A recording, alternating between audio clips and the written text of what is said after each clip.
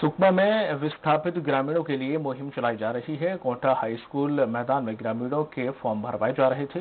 उस फॉर्म में वन भूमि के अधिकारों के लिए दावा प्रारूप का उल्लेख किया गया था।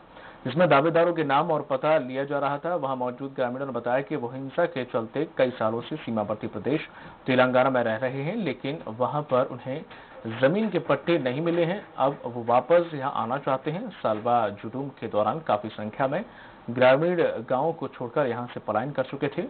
मौजूद लोगों ने जानकारी देते हुए बताया कि हिंसा से विस्थापित आदिवासियों को जंगल भूमि का अधिकार दिलाने की मुहिम चलाई जा रही है।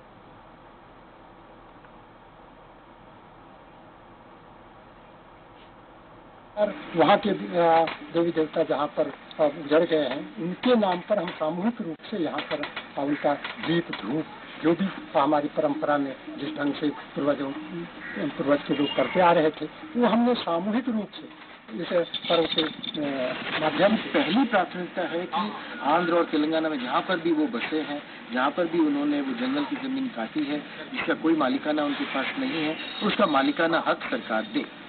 हज़ार आदमी जैसा आंध्रा में है तो उनको आके ना यहाँ पे कल पूजा करवाए। तो अगर वो लोग पूजा, बिना पूजा किए, वो लोग नहीं आते। इसलिए अभी वो लोग आके, पेरमा पुजारी उधर जो है, ये, वो लोग आके पूजा किए। पूजा करने के बाद अभी आना जाना करेंगे बोल के वो लोग बोले। कबरदा में